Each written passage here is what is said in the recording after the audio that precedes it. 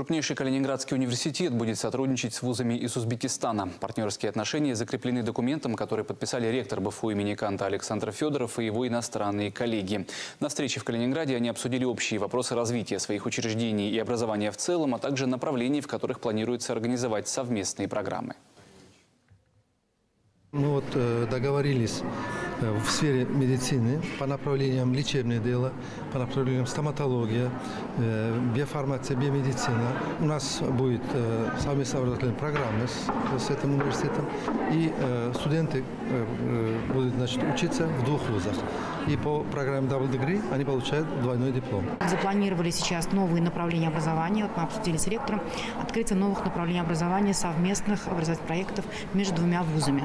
Между Самаркандским государственным медицинским университетом и также Балтийским университетом имени Канта по новым отправ- направлениям, по направлениям менеджмента непосредственно, а, которое будет интересно как для вашей страны, так и для нашей страны. Встречи прошли в рамках международной учебно-методической конференции. Преподаватели, врачи и студенты из Китая, Узбекистана, Казахстана, Германии, а также из 14 регионов нашей страны обсудили современные технологии в медицинском образовании в условиях пандемии коронавируса.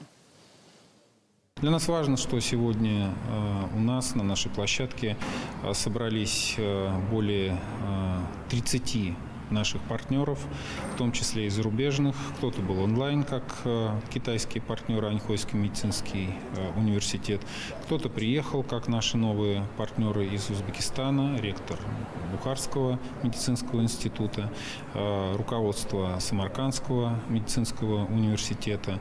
И важно то, что мы обсудили действительно актуальные для медицинского образования не только России, но и наших партнерских стран э, вопросы сотрудничества, как исследовательской, так и образовательной проблематики.